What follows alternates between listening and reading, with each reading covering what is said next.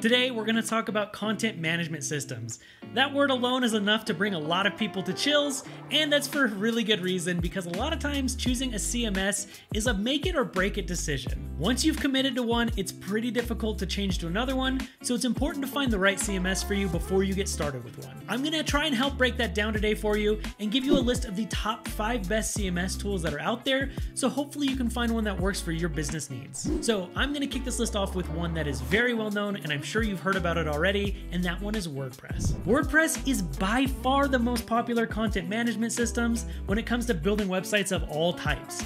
It's used by over 43% of all websites. The core technology of WordPress is free and open source, which has helped it grow rapidly over the last 20 or so years. It also has a huge following and support from users, developers, and companies that build WordPress products to fit every need imaginable. WordPress is also a great CMS for businesses with unique website needs because it allows complete freedom to build any website with thousands of themes and plugins for added features. Now, WordPress itself is free to use, but you're going to need to pay for hosting and any premium themes or plugins that you want to use. So to make this easy for you, if you want to check out WordPress or any of the other ones I'm going to talk about, down in the video description below, I have links for every single one so you can try them for yourself. If you do decide to make a purchase using these links, we may receive a commission, which does help support our team and all of our ad-free videos.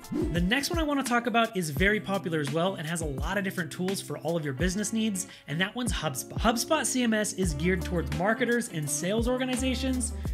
who use paid or organic content as a significant inbound channel. It allows businesses to integrate marketing and CRM infrastructure inside of a CMS fully. It helps you get customer information with built in reporting, you can set up marketing automation, and tap right into HubSpot CRM without having to set up any third party integrations. HubSpot also has built in SEO tools, which can help businesses optimize your web content and properly collect customer data that you can use later in your marketing. If you're looking for a great all in one solution for a lot of your business needs, HubSpot HubSpot could be an excellent choice, and HubSpot's CMS starts at free, with paid plans starting for as little as just $25 a month. The third one I want to talk about is another big player in the world of CMS, and that's Shopify. Shopify is an extremely popular e commerce CMS that includes basic content management for posts. It is one of the go to e commerce website platforms, along with WooCommerce. Its sole purpose is to make selling online as easy as possible. Shopify is super powerful in regards to being an e commerce CMS, but it's relatively weak regarding pages and blog posts. Most people who start with this platform are delighted with all of the selling features that you have,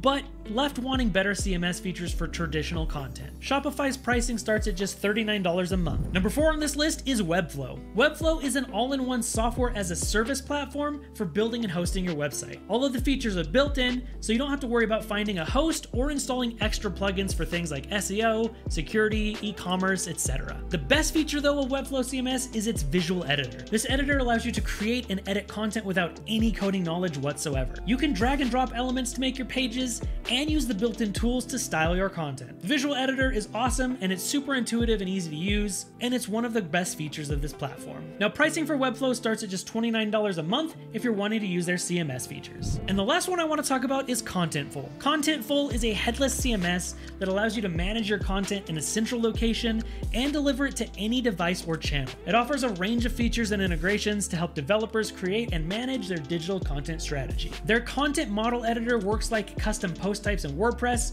where you can create content types and fields. For example, you could create content models for an editorial storytelling or for product reviews based on the type of content and structure you want to have for either. This is an enterprise level headless CMS with tools to create, edit, and manage content. Now, Contentful is aimed at bigger businesses that have a lot of technical resources, and it's perfect for developers who want to use an API first CMS to push content to different channels.